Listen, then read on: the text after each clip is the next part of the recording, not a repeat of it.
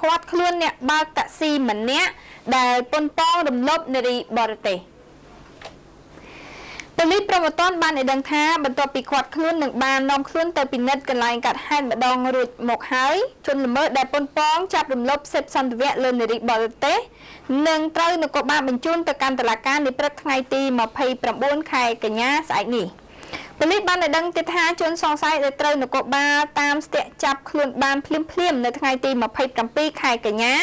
បន្ទាប់ពីធ្វើសកម្មភាពរំលោភមិនបានសម្រេចនិងព្យាយាមរត់គេចនេះគឺមានឈ្មោះនឹមប៊ុនឋានអាយុ25ឆ្នាំជាអ្នករត់តាក់ស៊ីមានទីលនៅស្រុកកំពង់សៀមខេត្តកំពង់ចាម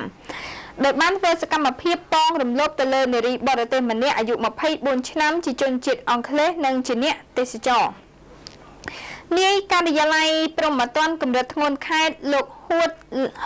លោកហួតលំហៀងបានឲ្យដឹងថានៅថ្ងៃកាត់ហេតុថ្ងៃទី27ខែកញ្ញាជនសង្ស័យបានបើករថយន្តដឹកភ្ញៀវមកពីក្រុងសួងខេត្តត្បូងឃ្មុំ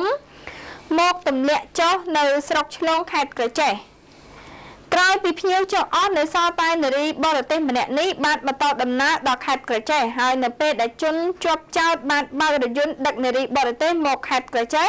ក៏បើកចុះតាមផ្លូវមាត់ទន្លេត្រង់ចំណុចឃុំបោះលាវស្រុកចិត្តបារីដែលជាកន្លែងស្ងាត់ជននេះក៏បានចាប់នាងរំលោភតែមិនបានសម្រេច